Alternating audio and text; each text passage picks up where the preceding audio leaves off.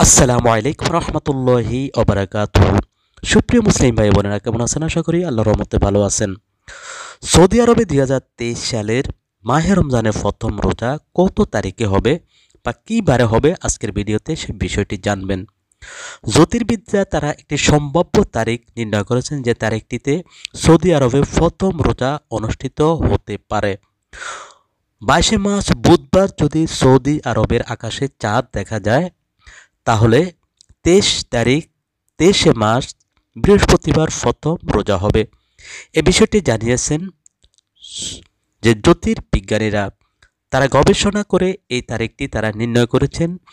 এর পূর্বেও তারা যে গবেষণাগুলো করেছিলেন, তাদের সেই গবেষণাগুলো সত্যে পরিণত হয়েছে।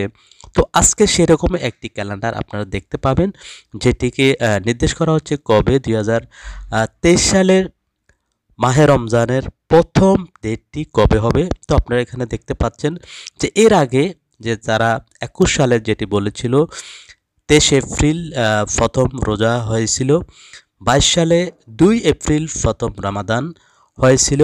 তো তেইশ সালে তারা যেটা বলছেন, এর আগেও তারা বলেছেন যেটি, সেটি সঠিক হয়েছে এবং তেইশ সালে তারা বলছেন যে তেইশ মার্চ রামাজান বিগিনিং বিগিং অর্থাৎ রমাদান শুরু হবে।